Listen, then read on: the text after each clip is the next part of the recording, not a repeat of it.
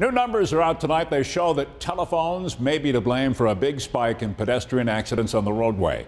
Emergency room visits blamed on phone use are now up 84% since 2007, which is the same year Apple introduced the iPhone.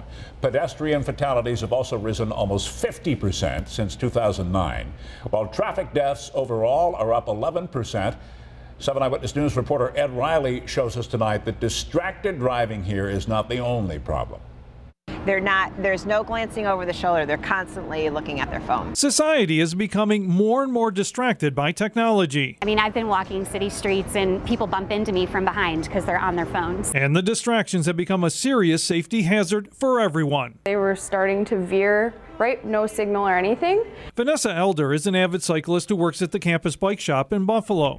She recently had a close call when a car nearly drove into her. And I kind of just like slipped by, but I totally saw him like checking his phone, like kind of like down here. And groups like the AAA have been working to raise awareness of the dangers of distracted driving, especially in cars with infotainment systems. Even pro driving instructor Carrie Donnelly could not reprogram an in-dash navigator without taking her eyes off the road for close to 30 seconds. They always assume that everything is going to get better with more technology, but that's not always the case. Distracted driving is not the only problem. Distracted walkers are also creating a safety risk as they cross streets without paying attention. Even myself, when I'm walking down the street, there are times that my husband will point out to me that I am completely distracted. During lunchtime in downtown Buffalo, we found numerous people crossing while carrying on cell phone conversations, checking messages, and wearing earbuds and headphones. All things the National Safety Council is strongly advising against.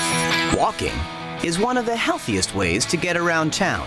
The council now has a distracted walking website with an instructional video in hopes of reminding people of the importance of getting there safely. Companies like AT&T have developed free apps for the cell phone that will prevent you from sending or receiving messages while you are driving.